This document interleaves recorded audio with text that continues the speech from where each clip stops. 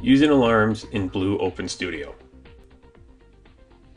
Alarms can be displayed in real time or as historical data, which can be saved as a binary file or written to any database. Sort alarms at runtime by any of the available columns.